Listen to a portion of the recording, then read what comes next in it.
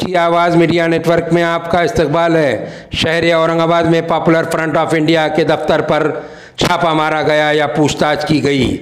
ये सवाल उस वक्त गर्दिश में या उस वक्त शहर भर में चर्चा में आ गया, जब ये इत्तला मिली शहरियान को कि ईडी के अफसरान ने पॉपुलर फ्रंट ऑफ़ इंडिया के रोशन गेट के करीब वाक़ दफ्तर पर छापा मारा। तेज़ी के साथ पॉपुलर फ्रंट ऑफ़ इंडिया के हामी जमा होना शुरू हुए।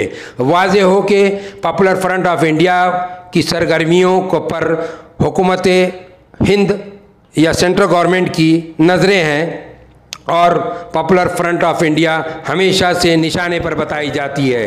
आज popular front India, of India के ज़िम्मेदारान से जब हमने रबता कायम किया तो उनका कहना ये था कि सुबह हमें फ़ोन आया कि हम ईडी से आए और आपके दफ्तर पर जो है तो आपसे पूछताछ करना चाहते हैं।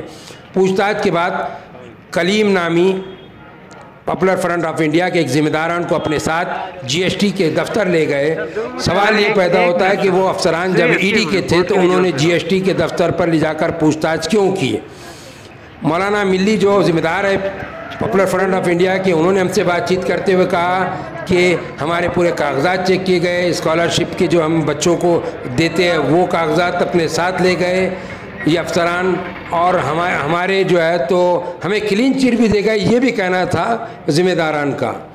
तो देखिए, और जब ये, जैसे ही ये इत्तला मिली शहर में कि पॉपुलर फ्रंट ऑफ़ इंडिया के जो है तो दफ्तर पर ईडी का या जो है तो छापा पड़ा है या इंक्वायरी चल रही है तो बड़ी तादाद में लोग नारेबाजी करते हुए पॉपुलर फ्रंट ऑफ़ इंडिया का झंडा हाथ में उठाए हुए उसके जो कार्यकर्ता थे, उसके जो वर्कर्स थे, वो दफ्तर के करीब पहुँच कर जो है तो उन्होंने नारेबाजी शुरू कर दी। देखिए सब मंज़र किस तरीके का माहौल वहाँ पर था और सुनिए क्या कहा ज़िम्मेदार ने पॉपुलर फ्रंट ऑफ़ इंडिया के जो इरफान मिल्ली बताए जाते हैं, वो ज़िम्मेदार है शहर के, उन्होंने क्या कहा?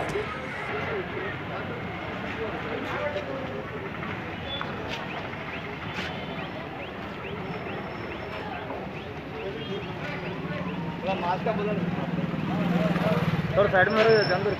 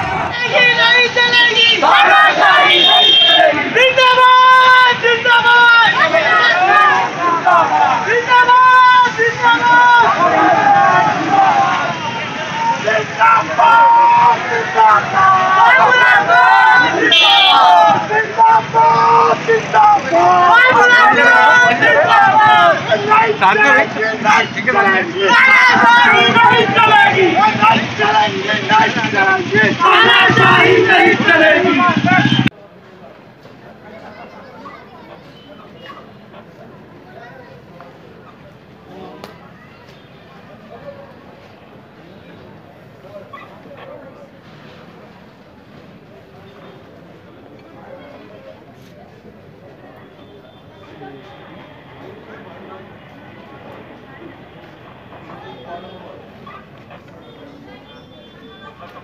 आज ईडी के लोग जो है तो popular front of India state office Maharashtra की औरंगाबाद में जो है वाकई यहाँ पर उन्होंने आकर जो है तो थोड़ी सी पूछताछ किए हैं। कुछ डॉक्यूमेंट्स वगैरह लेकर गए। जो लीगल की हमारी जो फाइट है स्कॉलरशिप का है इस तरह के दिल्ली राइट्स पे जो हमने कलेक्शन किए प्रोटेस्ट किए उस तरह की रिपोर्ट लेकर गए। बहरहाल ये सब करने का उनका मकसद सेंट्रल गवर्नमेंट का मोदी हुकूमत का है ये। ये सिर्फ़ औरंगाबाद में ही बोलकर नहीं है। महाराष्ट्र में और इंडिया में अक्सर जगह पर जो तो इस तरह उनकी कार्रवाई चली है और दूसरों के ऊपर भी इस तरह के जो है तो वो खामोश बिठाने के लिए एक मुद्दा जो अभी चल रहा है सबसे बड़ा मुद्दा वो है किसानों का मसला। उस मुद्दे को डाइवर्ट करने के लिए ईडी को इस तरह की जो है तो हरकत करने के लिए सेंट्रल गवर्नमेंट मोदी हुकूमत ने इस तरह के काम करने लगाई है। और आगे अ, उसके ऊपर भी हम कुछ ना कुछ उनके ऊपर जो है तो ये जो किए हैं इस तरह के लीगल हम फाइट करेंगे। उसके सर मुझे बताइए कितने लोग आए थे कितने बजे आए थे और कितने लोग थे और क्या क्या सुबह दस बजे से उनके कॉल चालू है कि इधर आइए हाँ, हम लोग आए हैं बोलकर ऑफ़िस देखना है। इस तरह तकरीबन वो चार चार से पाँच लोग थे वो। और अभी वो हमारे जो कुछ डॉक्यूमेंट्स उन लोग लेकर गए हैं उसको पंचनामा करके बस इतना ही है बाकी और कौन कुछ कौन से डॉक्यूमेंट्स लेके गए साहब उसमें लीगल के डॉक्यूमेंट्स थे हमारे लीगल जो फाइट हम कर रहे हैं जिनके ऊपर जो भी है हमारे लीगल का। और उसके अलावा स्कॉलरशिप हम जो देते हैं हायर एजुकेशन के लिए उसके डॉक्यूमेंट्स लेकर गए हैं और दिल्ली राइट्स में जो कलेक्शन हमने किए थे वो डॉक्यूमेंट्स उन लोग लेकर गए। कितने लोगों के साथ में लेकर गया है। कितने लोगों के जॉब जॉब लिए हैं उन्होंने। क्या बोले? जॉब जॉब कितने लोगों के लिए हैं? कितने लोगों से थोड़ा थोड़ा दो लोग से किए हैं। एक हमारे डिस्ट्रिक्ट कमेटी मेंबर है जो एक्स प्रेसिडेंट थे सैयद कलीम। हम्म। उनसे पूछताछ किए और? और मुझसे अकाउंट्स के बारे में पूछे थोड़ा सा। आपका नाम? मेरा नाम शेख इरफान मिल्ली। मैं डिस्ट्रिक्ट प्रेसिडेंट साथ में हूँ। लेकर? इससे हाँ, पहले सैयद कलीम को भी साथ में लेके गए हैं जीएसटी ऑफ़िस पे सिडको में जो है तो। इससे पहले आपको इनकम टैक्स या फिर ईडी की तरफ़ से कोई नोटिस वगैरह कोई नोटिस नहीं आया बगैर नोटिस के लोग यहाँ पे डायरेक्टली आए क्या कहा है उन्होंने? कहाँ से आए थे और कितने लोग थे? ये सेंट्रल गवर्नमेंट से आए हैं। मुंबई से इसमें क्योंकि मुंबई पासिंग की गाड़ी थी क्योंकि पूरी डिटेल भी उन लोग बता रहे नहीं थे। बाद में फिर उनका यही था बस हमको बस थोड़ा सा पूछताछ करना है उसके लिए हम आए हैं बाकी कुछ मसला नहीं है इस तरह नाम बोले उन्होंने कोई अफसर का नाम बोला बताइए ईश्वर नाम जिनका कॉल आया था मुझे उनका नाम ईश्वर है। ठीक है। क्या आप पे प्रेशर था क्या? बयान नहीं देना है या कुछ? नहीं ऐसा कोई प्रेशर नहीं है। ये बस अंदर अभी मत बुलाओ। अभी फ़ोन स्विच ऑफ़ करके रखो। अभी हम थोड़ा पूछताछ कर रहे हैं कॉपरेट करो बोलकर बोले। हमने क्या है कि अभी जब से ये गवर्नमेंट आई है उसका मुद्दा ये है कि जो भी हक की आवाज़ उठाता है क्योंकि अभी उनका जो जो अभी जो हालिया हुकूमत है उनका सोच ये है कि हिंदुस्तान के अंदर एक मनुस्मृति लाना है। और मनुस्मृति के लिए जो पूरे भारत में जो सबसे ज़्यादा एक अच्छी आवाज़ उठाने वाली तंजीम है वो पॉपुलर फ्रंट ऑफ़ इंडिया है।